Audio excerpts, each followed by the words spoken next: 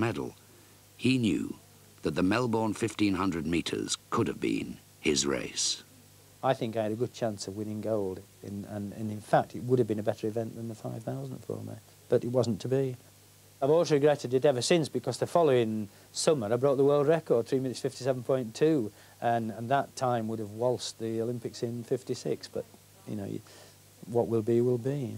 Ibbotson, Lewandowski and the Olympic champion Ronnie Delany in fourth place. Delany with his devastating finish, a very dangerous contender. And they're coming up now to the bell.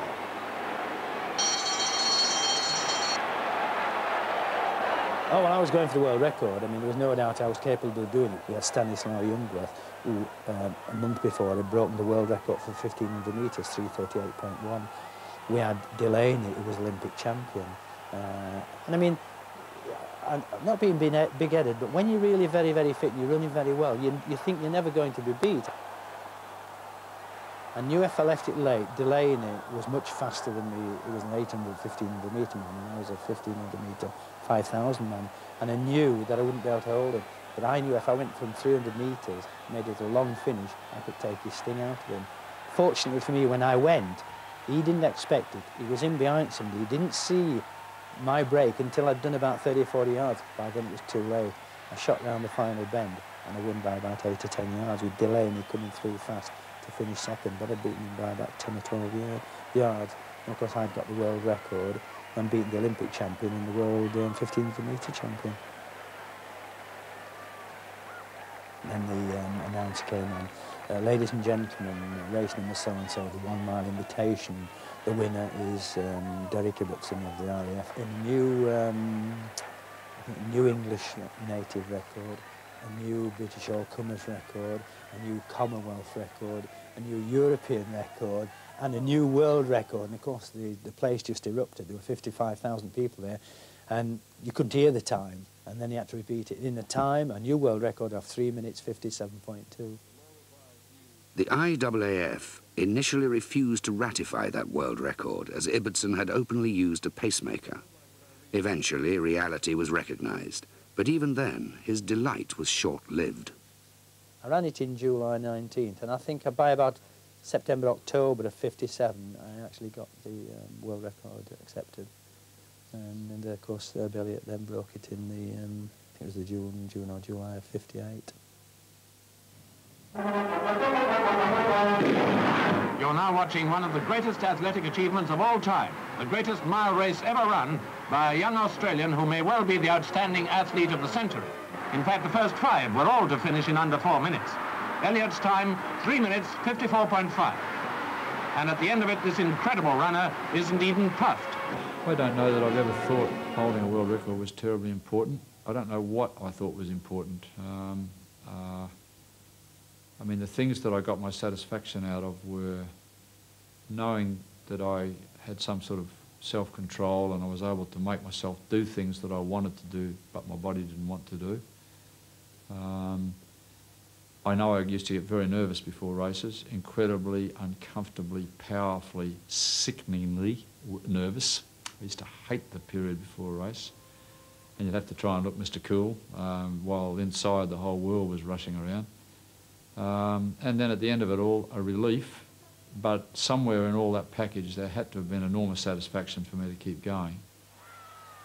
Herb Elliott's short career was littered with staggering achievement. He was never beaten at the mile or 1500 metres. He won an Olympic gold medal in the world record time. He stripped almost three seconds from Ibbotson's world mile record. And he walked away from his sport at the age of 22.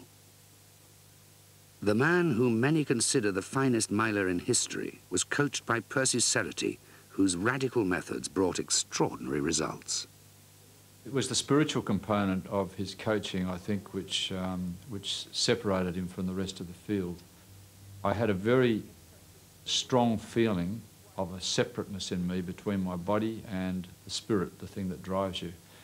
Um, and so when you're out on a training run and you were at the point of exhaustion, which you tried to get to on a training run, in fact you believed a training run was useless until you got to that point, um, you became very conscious of you, the real me, wanting to go on. and this shell that you carry around called the body wanting to stop. And uh, you just got yourself to the point where you just ignored it. Um, and so that you developed a, a sort of a self-mastery. And it's only 40 yards to go, and Herb Elliott is coming up to the finish. He's got 30 yards to go, and the time is 3 minutes 56, 57, 58, 59, and a four-minute mile. Elliott declared his dazzling ability with two gold medals at the 1958 Empire Games. But he made it seem almost too easy, and the media searched for answers. The interrogation was merciless. Uh, you, you have a crew cut because you like it or because you think it's lighter or what?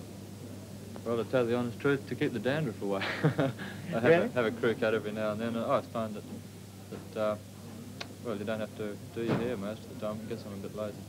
And do you not shave because you think that helps when you're racing? I guess that's because I'm a bit lazy too.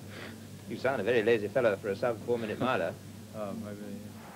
With the Cardiff Games over, the Australians began a light-hearted European tour. Then they reached Dublin, and the mood changed. Nobody really cared about this meeting in Santry in Dublin. And then we started to realise, my God, look at the crowd. We better put on a bit of a show here for this mob. Um, so we decided, we then set up a race plan. And uh, everything went according to plan, and we broke the world record by uh, two or three seconds. So uh, we, we smashed it. But it, I guess the, the plan that we set up made a world record possible, but we didn't say, let's break the world record, really. We just said, you know, let's run fast.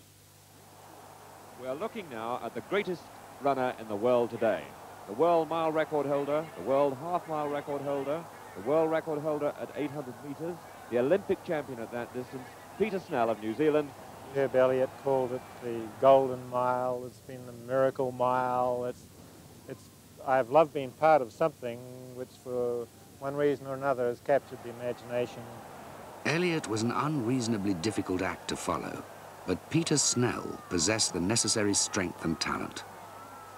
After winning the 800 metres at the Rome Olympics, he nibbled at Elliott's world mile record two years later. In November 1964, he lowered the mile time to 354.1. But in 1965, still at the peak of his powers and with three Olympic gold medals to his name, Snell announced his retirement. It just didn't seem reasonable as an amateur athlete to continue to do that just for the glory. And, uh, and let's face it, that's why I did it. I felt I had, had acquired enough glory and time was to move on to other facets of my career. The desire to be successful and achieve just doesn't go away when your athletic career is over.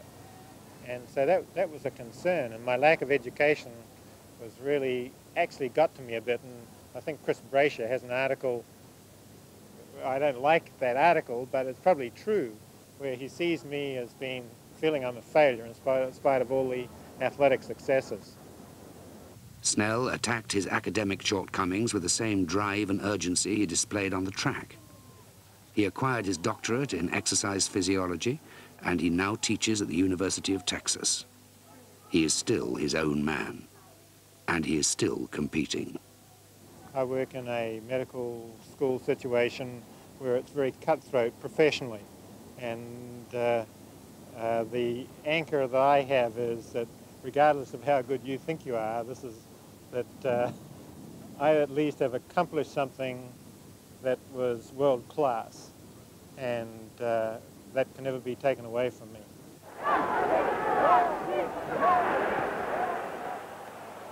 Michel Jazy was an athlete without illusions. To general surprise, he had won a silver medal in the 1960 Olympic 1500 meters.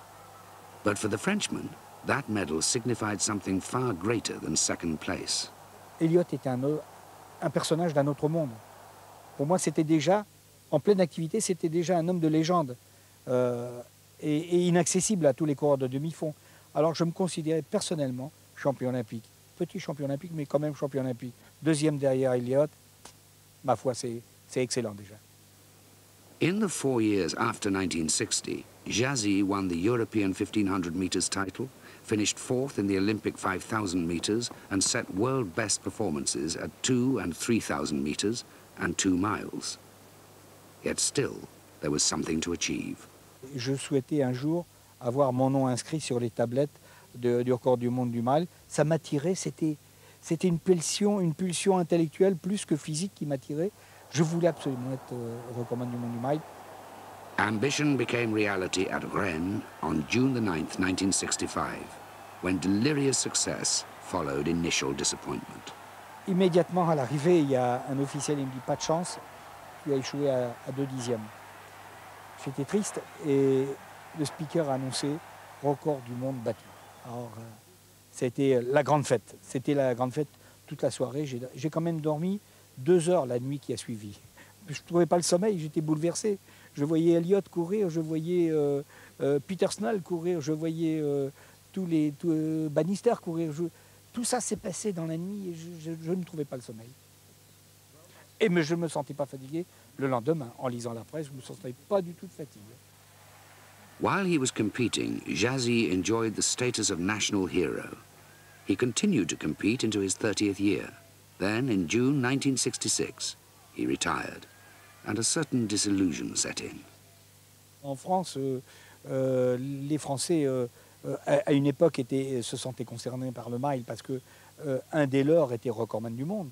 Mais euh, maintenant, à présent, euh, il m'arrive beaucoup d'occasions où, où les gens euh, ignorent qui est Michel Jazzy et que si j'étais l'ancien recordman du monde du mile, il m'est arrivé il y a, il y a 3-4 ans d'aller à, faire un footing euh, à Montréal et de, m'entraîner sur le, le, le Mont Royal. Et j'ai trouvé un, un jeune étudiant américain qui faisait du footing et, j'ai fait un petit trajet avec lui et on s'est mis à, parler un peu puisqu'il parlait, euh, il était américain mais il parlait quand même un peu le français vu qu'il vivait à Montréal et on s'est mis à parler un petit peu. Il me disait euh, tiens euh, d'où êtes-vous? Je suis français mais vous courez, vous courez beaucoup Oui j'ai, beaucoup couru. Je, fais du demi-fond et du fond. Euh, Qu'est-ce que vous avez comme performance? Oh, j'ai réalisé une époque euh, 3,53, au- 6 au mile. Il s'est arrêté. Il m'a- donné mon nom. Il m'a dit Vous êtes Michel Jazzy. C'est une grande fierté pour moi. Je vous assure, ça a été un, un grand moment pour moi. C'est vrai. Surtout que c'est un jeune. Jazy's successor as holder of the mile record emerged from the decade which virtually invented youth. Jim Ryun was a squeaky clean child of the 60s, the preppy product of middle America, exceptional only for his ability to run extremely fast. My high school coach was a very visionary type person. He thought I could not only become the national high school record holder, but the first high school boy to run under four minutes.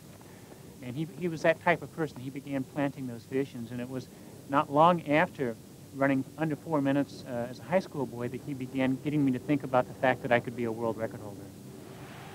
The visions duly drifted into focus. Jazy's record fell at Berkeley, California, 351.3. A year later, 1967, another two tenths were shed at Bakersfield. But the 1968 Olympics brought defeat by Kip Keino in the thin air of Mexico City, and suddenly the pressure began to crowd in on Ryun. In the U.S. Collegiate Championships, he scandalized the nation by stepping off the track. I needed time to recoup after Mexico, and actually during those championships, I had really given very serious thought to the fact that I would never race again, and shortly after that, I began getting more comfortable with the fact that that truly would be the end of my running. Uh, perhaps a week afterwards, a man by the name of Howard Cosell called me from ABC and said, would you like to go on national TV and explain what happened? I say one thing to you, and again, thanks for dropping by. No man who does what man has never done before and what man has not done since can be called a quitter. Good luck to you. Thank you, Harry. And as a result of that, I started feeling a little better about the situation. About eight months later, I decided that uh, perhaps I did want to run again, and Ann and I shared a wonderful period of time just with some of the racing that took place, but it was very serious for me at that point. I wanted a break. Come the 1972 U.S. Olympic trials, and Ryun recovered his real form. Jim Ryun, to me, looks now like a man from whom all the tension of the last four years has at least temporarily been removed. But that success was merely the prelude to a fateful 1,500 meters at the Munich Olympic Stadium. Jim Ryun right at the back. He's made no sort of move at all.